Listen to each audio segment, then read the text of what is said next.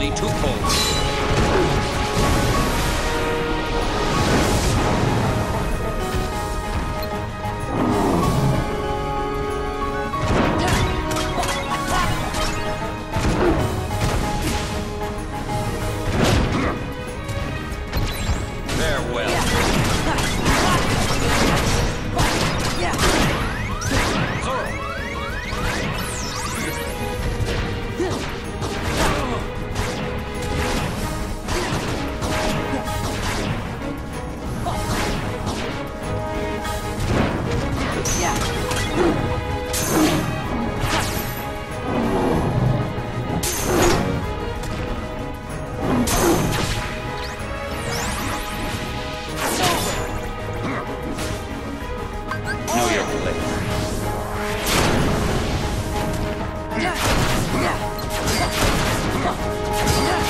Your fame shall be twofold.